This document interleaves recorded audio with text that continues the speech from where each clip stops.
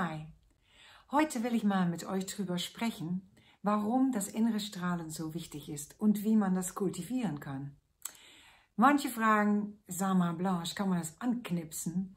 Und natürlich ist es so, dass man, wenn man langjährige Bühnenerfahrung hat, dass man lernt, bevor man auf die Bühne geht, einfach dieses Gefühl anzumachen. Bam, und es ist da und man wirkt, man geht, man ist präsent, man strahlt.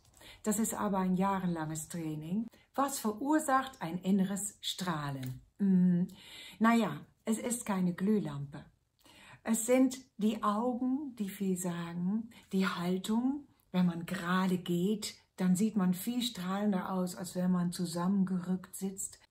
Wichtig, um ein gutes Gefühl zu erreichen von innen, ist, dass man eben genug Zeit nimmt, mal nach innen zu gehen und zu gucken, was da eigentlich los ist. Deepak Chopra, ich bin ein großer Fan von ihm, der hat viele Bücher geschrieben, äh, unter anderem auch die sieben geistige Gesetze des Erfolges. Und darin beschreibt er, dass es wichtig ist, zum Beispiel eine Stunde lang am Tag still zu sein.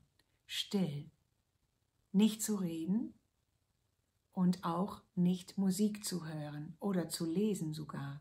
Was passiert dann? Das ist auch ein Tipp für Kreative. Die ganze innere Idee, die Fantasie, die eigene Fantasie wird angeregt. Äh, ja, es ist vielfach. Hobbys sind wichtig. Mach Sachen, die dir Spaß machen. Genießen ist wichtig. Kochen ist auch eine Form von Meditation, sagt immer Natalie Borsi, mit der ich zusammen den Podcast Rot und Blond Cooking Out Loud habe. Natur ist wichtig. Geh in die Natur, atemfrische Luft, beweg dich, Sport. Sport regt auch wieder Dopamin an, macht glücklich. Und wenn man glücklich ist, hat man eine bessere Ausstrahlung.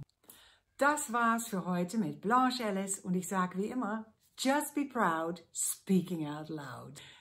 Tot ziens!